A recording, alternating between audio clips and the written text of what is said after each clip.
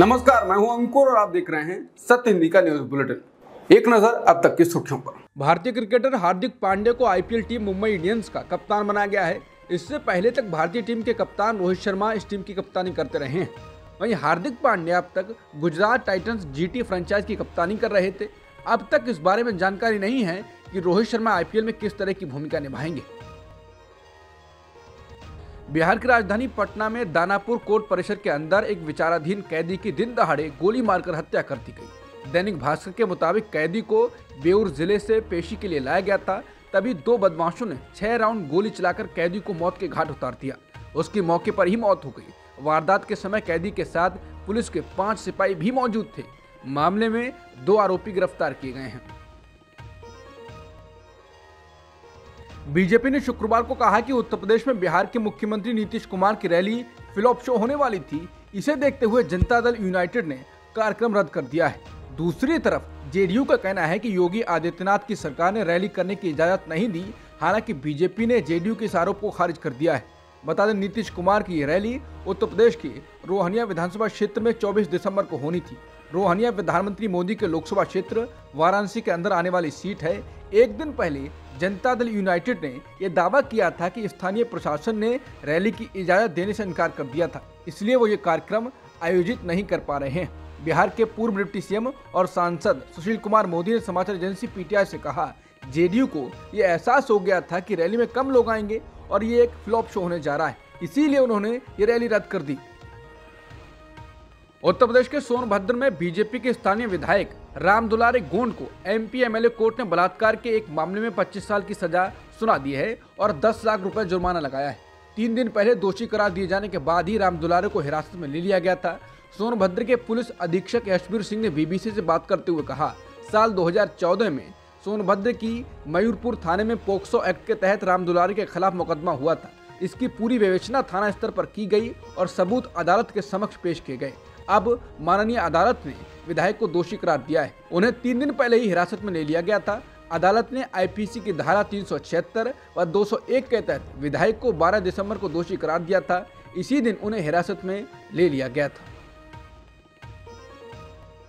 मध्य प्रदेश, राजस्थान और छत्तीसगढ़ जीतने के बाद बीजेपी ने जो सीएम बनाए थे, उनको लेकर लगातार चर्चाएँ चल रही हैं। कहा जा रहा है कि बीजेपी हाईकमान ने इन तीनों राज्यों में सीएम और डिप्टी सीएम काफ़ी सोच समझकर बनाए हैं।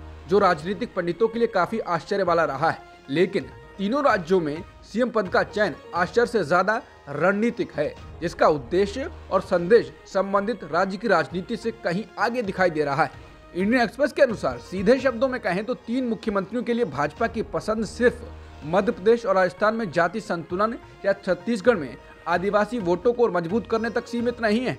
छत्तीसगढ़ के लिए एक आदिवासी मुख्यमंत्री विष्णुदेव साय का एक चयन पूर्ण मास्टर स्ट्रोक बताया जा रहा है। भाजपा ने छत्तीसगढ़ के सरगुजा और बस्तर के आदिवासी इलाके में 26 में से 22 सीटें जीती हैं, जिससे पता चलता है कि कैसे आदिवासियों ने भगवा पार्टी को बड़े पैमाने पर वोट दिया है। बता दें, छत्तीसगढ़ किसी अन्य राज्य ऐसा नहीं है, इसकी सीमा सात अन्य राज्यों के आदिवासी जिलों से लगती है। इंडियन एक्सप्रेस ने कहा है कि ऐसे में कहा जा सकता है कि बीजेपी हाईकमान की अब सीधी निगाह लोकसभा चुनाव 2024 पर है क्योंकि अनुसूचित जनजातियों के लिए सैतालीस लोकसभा सीटें आरक्षित हैं। उनमें से 40 पूर्वोत्तर राज्यों के बाहर हैं। बीते 13 दिसंबर को संसद की सुरक्षा में सेंध लगाने के मामले में दिल्ली पुलिस की एफआईआर में दर्ज जानकारियाँ सामने आई हैं। संसद पर 2001 में हुए हमले की 22वीं बरसी के मौके पर सुरक्षा में सेंध लगाकर कैसे ये लोग सदन तक पहुँचे थे और उनकी क्या तैयारियाँ थी, इसे एफआईआर में दर्ज विवरण से समझा जा सकता है। एफआईआर दर्ज किए जाने के दो दिन बाद सामने आए इसके विवरण में उल्लेख किया गया है कि आरोपियों ने लोकसभा में सदन के बीचों बीच पीला धुआँ फैलाने की योजना बनाई थी। एफआईआर में यह भी बताया गया है कि विजिटर पास के माध्यम से संसद में सागर शर्मा और मनोरंजन डी ने प्रवेश किया था। प्रवेश पाने वाले इन दोनों आरोपियों ने धुआँ फैलाने के लिए इस्तेमाल होने वाले गैस कनस्तरों को सदन के अंदर ले जाने के लिए अपने जूतों में एक विशेष तरह की कैविटी बनाई थी। सागर शर्मा के एलसीआर ब्रांड के स्पोर्ट्स जूते स्लेटी रंग के थे। उसके बाएँ पैर के जूते के अंदर तलवे को काटने पर एक कैविटी बनी हुई पाई गई। इस कैविटी को सहारा देने के लिए नीचे अतिरिक्त रबर सोल लगाया गया था। इससे जूतों के सोल की मोटाई बड़ी हुई पाई गई।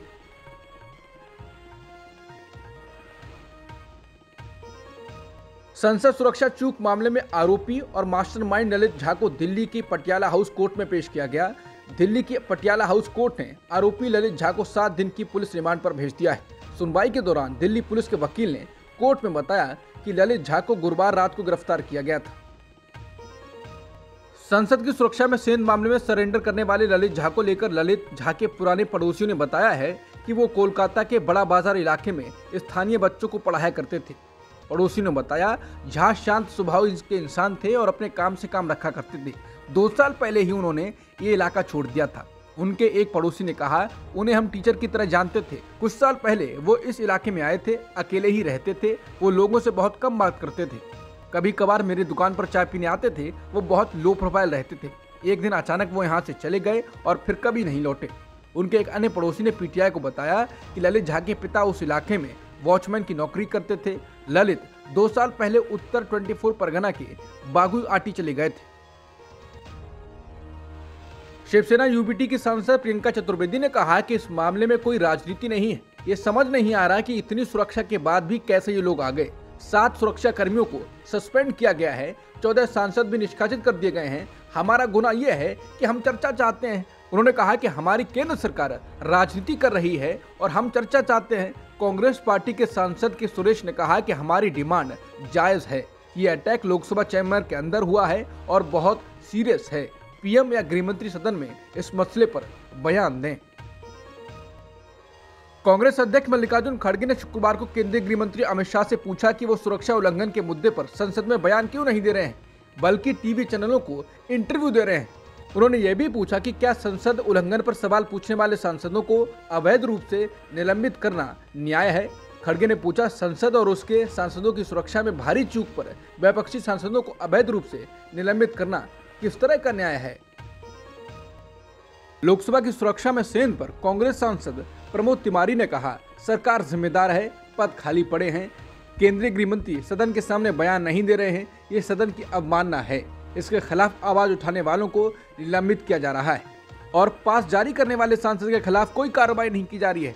संसद की सुरक्षा में चूक की घटना पर शिवसेना यूबीटी सांसद संजय राउत ने कहा, केंद्रीय गृह मंत्री अमित शाह को देश को बताना चाहिए कि इसमें क्या राजनीति है। सुप्रीम कोर्ट ने सांसदीय के निष्कासन के फैसले को चुनौती देने वाली महुआ मोत्रा की सुनवाई अगले साल तीन जनवरी तक के लिए टाल दी है। इस याचिका में महुआ मोत्रा ने अपने निष्कासन को सुप्रीम कोर्ट में चुनौती दी है। एथिक्स कमेटी की रिपोर्ट के बाद लोकसभा में उनके निष्कासन से संबंधित प्रस्ताव को पारित किया गया था। एथिक्स कमेटी ने महुआ मोहित्रा को एक कारोबारी से अवैध तरीके से तोहफे और लाभ लेने का दोषी करार दिया था और उनकी मेंबरशिप रद्द करने की सिफारिश की थी। सुप्रीम कोर्ट ने शुक्रवार को शाही ईदगाह कृष्ण जन्मभूमि विवाद में इलाहाबाद हाई कोर्ट की ओर से दिए गए फैसले को स्थगित करने से इनकार कर दिया है। इलाहाबाद हाई कोर्ट ने कल इस मामले में कोर्ट की निगरानी में एक सर्वे कराने के लिए दायर की याचिका को स्वीकार कर लिया। शाही ईदगाह मस्जिद और सुन्नी वक्फ बोर्ड ने इसी फैसले को सुप्रीम कोर्ट में चुनौती दी थी। इसके तहत विवादित क्षेत्र में एडवोकेट कमिश्नर्स की तीन सदस्यीय समिति की ओर से सर्वे करके तथ्य जुटाए जाने हैं। इस मामले में हिंदू पक्ष के वकील विष्णु शंकर जैन ने कहा, सुप्रीम कोर्ट ने इस प्रक्रिया पर विराम लगाने से इनकार कर दिया है। खाद्य सुरक्षा और पोषण पर संयुक्त राष्ट्र की 2023 की रिपोर्ट में कहा गया है कि चौहत्तर दशमलव एक फ़ीसदी भारतीय या भारत के एक अरब से अधिक लोग 2021 में स्वस्थ आहार का इंतज़ाम करने में असमर्थ थे। ये आंकड़े भारत सरकार के उस दावे पर सवाल उठाते हैं कि देश में केवल इक्यासी दशमलव तीन करोड़ लोगों को ही खाद्य सहायता की ज़रूरत है। द टेलीग्राफ के मुताबिक संयुक्त राष्ट्र की पाँच एजेंसियों की ये रिपोर्ट इस सप्ताह की शुरुआत में जारी की गई थी। रिपोर्ट में 2020-22 के दौरान भारत की कुपोषित आबादी का अनुपात सोलह दशमलव छह फ़ीसदी होने का अनुमान लगाया गया है। हालाँकि केंद्र ने कहा है कि भारत जैसे बड़े देश के लिए एक छोटे से नमूने से एकत्र किए गए डेटा का उपयोग भारत में अल्पपोषितों के अनुपात की गणना करने के लिए किया गया है, जो न केवल गलत और अनैतिक है, बल्कि इसमें स्पष्ट पूर्वाग्रह की बू आती है। रफाल लड़ाकू विमान का मुद्दा फिर से बाहर आ गया है। फ्रेंच वेबसाइट मीडिया पार्ट ने रिपोर्ट छापी है कि मोदी सरकार फ्रांस में नियुक्त राफेल डील में भ्रष्टाचार के आरोप की जाँच कर रहे प्रोसिक्यूशन जज के काम में अड़चन पैदा कर रही है। द वायर में छपी रिपोर्ट के अनुसार मोदी सरकार उन फ्रांसीसी न्यायाधीशों के साथ सहयोग करने से इनकार कर रही है। बता दें, इससे पहले 25 जुलाई 2023 को लिखे गए एक राजनयिक नोट में भारत में फ्रांसीसी राजदूत इमेनुअल लेने ने भारत के साथ आपराधिक मामलों पर सहयोग में चुनौतियों पर प्रकाश डाला था।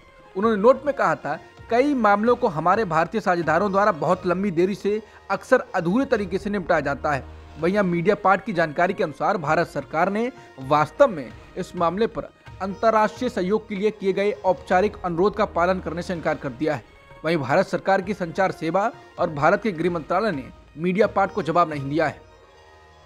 भजनलाल शर्मा ने राजस्थान के मुख्यमंत्री पद की शपथ ले ली है। राज्यपाल कलराज मिश्र ने उन्हें पद और गोपनीयता की शपथ दिलाई। उप मुख्यमंत्री के रूप में पहले दिया कुमारी और फिर प्रेमचंद बैरवा ने शपथ ली। जयपुर के अल्बर्ट हॉल में आयोजित शपथ ग्रहण समारोह में प्रधानमंत्री मोदी, बीजेपी अध्यक्ष जे पी नड्डा, केंद्रीय गृह मंत्री अमित शाह, रक्षा मंत्री राजनाथ सिंह के साथ बीजेपी शासित अन्य राज्यों के मुख्यमंत्री भी मौजूद थे। आज ही मुख्यमंत्री भजनलाल शर्मा का जन्मदिन है। ये संयोग है कि वो अपने जन्मदिन पर अपने राज्य के मुख्यमंत्री बने हैं। राजस्थान के नए मुख्यमंत्री भजनलाल शर्मा के शपथ ग्रहण समारोह में शामिल होने के लिए निवर्तमान मुख्यमंत्री अशोक गहलोत भी पहुँचे। शपथ ग्रहण समारोह में वो अपने राजनीतिक प्रतिद्वंदी और केंद्रीय मंत्री गजेंद्र सिंह शेखावत के बगल में बैठे। शेखावत के दूसरी तरफ़ वसुंधरा राजे सिंधिया भी बैठी थी। अशोक गहलोत बीजेपी के इन दोनों नेताओं से हँसी मज़ाक करते हुए देखे गए। बता दें, गहलोत पिछले दिनों संजीवनी क्रेडिट कोऑपरेटिव सोसाइटी घोटाले के लिए गजेंद्र सिंह शेखावत पर बार बार आरोप लगाते रहे। इस पर शेखावत ने अशोक गहलोत के खिलाफ दिल्ली की एक अदालत में मानहानि का मुकदमा भी दायर किया है। शपथ ग्रहण समारोह के शुरू होने का इंतज़ार करते हुए ये दोनों एक दूसरे से बात करते हुए दिखाई दिए। लोकनीति सीएसडीएस के सर्वे के मुताबिक आम नागरिकों के नज़रिए से बेरोजगारी एक बड़ा मुद्दा है। सर्वे में अलग अलग राज्यों को लेकर आंकड़े बताए गए हैं कि कहाँ कितने लोग मानते हैं कि हाल में पिछले पाँच सालों में बेरोजगारी बढ़ी है। सर्वे के मुताबिक पंजाब में पचासी फ़ीसदी मानते हैं कि पाँच सालों में बेरोजगारी बढ़ी है। उत्तर प्रदेश में अठहत्तर फ़ीसद, उत्तराखंड में पिचासी फ़ीसद, गुजरात में अट्ठासी फ़ीसद, गोवा में तिरासी फ़ीसद, हिमाचल प्रदेश में नब्बे फ़ीसद, कर्नाटक में चवालीस फ़ीसद, एमपी में चौवन फ़ीसद, राजस्थान में तैतालीस फ़ीसद, छत्तीसगढ़ में उनचास फ़ीसद, तेलंगाना में उनहत्तर फ़ीसद। हालाँकि लोगों का कहना है, इन सब मुद्दों पर भी हिंदुत्व भारी पड़ेगा। मणिपुर में मारे गए कुकी जो जनजाति लोगों के शव कांगपोकपी ज़िले में शुक्रवार को सामूहिक तौर पर दफनाए जाएँगे। राज्य में हो रही हिंसा के विरोध में पूरे कांगपोकी ज़िले में शुक्रवार सुबह पाँच बजे से शाम चार बजे तक बारह घंटे का बंद बुलाया गया है। सदर हिल्स की जनजातीय एकता समिति ने इस ज़िले के सभी कुकी ज़ोर लोगों से शुक्रवार को शोक दिवस मनाने का निर्देश देते हुए कहा कि सभी लोग अपने घर में काला झंडा फहराएँ। बीबीसी संवाददाता दिव्या आर्य को मिली जानकारी के अनुसार तेरह शवों को कांगपुर ज़िले के फैजन गाँव में दफनाया जाएगा। खबर के अनुसार, शवों के सामूहिक दफन के कार्यक्रम की थीम, आप हमारे कल के लिए आज अपना बलिदान करें, रखी गई है। उत्तर प्रदेश के बांदा की महिला जज की वायरल चिट्ठी का सुप्रीम कोर्ट ने संज्ञान लिया है। बांदा की महिला जज की चिट्ठी पर सुप्रीम कोर्ट ने दखल दिया और सीजीआई डीवाई चंद्रचूड़ ने इलाहाबाद हाईकोर्ट से उस मामले में स्टेटस रिपोर्ट मांगी है। दरअसल बांदा ज़िले की महिला सिविल जज ने भारत के मुख्य न्यायाधीश डीवाई चंद्रचूड़ से अपना जीवन समाप्त करने की अनुमति मांगी थी। इस संबंध में उन्होंने एक पत्र भेजा है, जिसमें जिला जज द्वारा यौन उत्पीड़न करने का गंभीर आरोप भी लगाया गया है। गुरुवार की देर रात चीफ जस्टिस डीवाई चंद्रचूड़ ने सुप्रीम कोर्ट के secretary general Atul M Kurhekar को इलाहाबाद हाई कोर्ट प्रशासन से स्टेटस रिपोर्ट मांगने को कहा एसजी ने इलाहाबाद हाई कोर्ट के रजिस्ट्रार जनरल को पत्र लिखकर महिला जज द्वारा दी गई सारी शिकायतों की जानकारी मांगी है। करीब एक महीने पहले मालदीव ने भारत को अपने सैनिकों को वापस बुलाने के लिए कहा था। अब मालदीव भारत के साथ हुए हाइड्रोग्राफिक सर्वे एग्रीमेंट खत्म करने जा रहा है। गुरुवार देर रात मालदीव सरकार ने इस एग्रीमेंट को रिन्यू नहीं करने का फैसला किया। एग्रीमेंट 7 जून 2024 को एक्सपायर हो जाएगा। ये समझौता 2019 में मालदीव आइलैंड के पानी पर रिसर्च करने के लिए हुआ था। बता दें, चुनाव के दौरान मौजूदा राष्ट्रपति मोहम्मद म्यूजी की पार्टी ने इंडिया आउट का अभियान चलाया था। और जीतने के बाद वो इस पर एक्टिव हो गए मालदीव सरकार के इस फैसले को इंडिया आउट कैंपेन के साथ जोड़कर देखा जा रहा है। मालदीव सरकार के इस फैसले को इंडिया आउट कैंपेन के साथ जोड़कर देखा जा रहा है। बता दें, मालदीव के मौजूदा राष्ट्रपति मुइजू चीन समर्थक माने जाते हैं। अभिनेता श्रेयस तलपड़े को गुरुवार रात को दिल का दौरा पड़ा। उनको अस्पताल में भर्ती कराया गया। मुंबई के अंधेरी इलाके के बेलेव्यू अस्पताल में उनकी एंजियोप्लास्टिक की गई। उनकी हालात स्थिर बताई गई है और अस्पताल के अधिकारियों ने कहा कि वो ठीक हैं। एक रिपोर्ट में कहा गया है कि सैतालीस वर्षीय अभिनेता वेलकम टू द जंगल की शूटिंग कर रहे थे और शाम को उन्हें दिल का दौरा पड़ा।